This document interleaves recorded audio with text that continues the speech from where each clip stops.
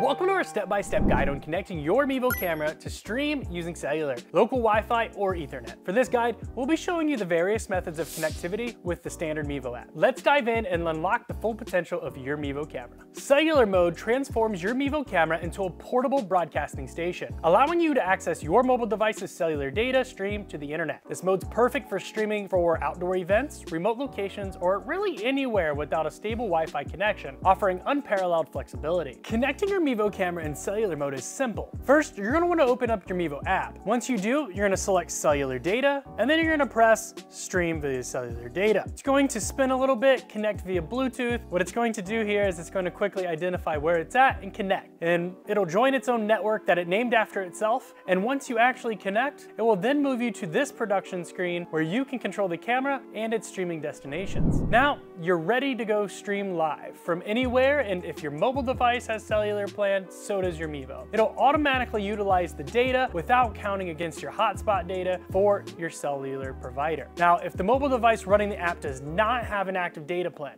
you will be limited to only recording. So now let's cover connecting using Wi-Fi. You'll need to open the Mevo app and as long as you're not already on the same network as your Mevo, then you'll be able to follow along. Now, since you're coming from cellular from the last guide, we're gonna wanna go to change connection type and then select Wi-Fi. Press stream via Wi-Fi and it'll go ahead and load up a Wi-Fi screen. From there, you'll be able to select the network you want from a list of publicly detected Wi-Fi signals from your area. Once you select and enter the password, you can press join. Since mine Mevo's already remembered my last account or my last Wi-Fi signal, I'll select it and it'll go ahead and move me to my production screen. Last but not least, let's talk about how to connect your Mevo camera and how to connect to it from the Mevo app utilizing Ethernet. You're going to need the Mevo Power over Ethernet adapter or a similar Ethernet adapter that can utilize Ethernet via USB-C and is self-powered or you're gonna have to turn on power external USB devices and you can learn more about that on help.mevo.com. But for the Mevo Power Ethernet adapter, you don't need to turn that on. All you need is an Ethernet cable. This is going to allow you to send both power and Ethernet to the Mevo camera utilizing a single single cable. Now we've got that plugged in, we've got the USB-C on the other side, and let's plug the USB-C to the back of the Mevo camera.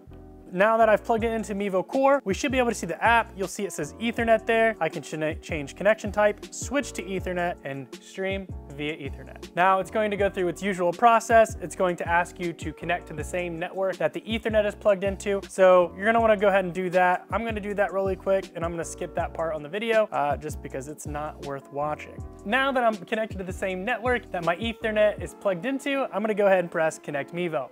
It's going to go ahead and connect me and take me to the production screen where I can then control my Mevo camera and all the destinations that I want to stream to. Hopefully you found this video helpful in your streaming journey. If you have any ideas or feedback, we are all ears. Just make sure you drop your thoughts in the comments below. And remember to like, follow, and subscribe on all of our social channels at Mevo Camera to stay updated with all the latest tips and tricks. If you've encountered any issues or you need assistance, don't hesitate to reach out. You can easily open a ticket at help.mevo.com. Thanks for watching and being part of the Mevo community. I'm Joe from Mevo, and I look forward to seeing you on the next video.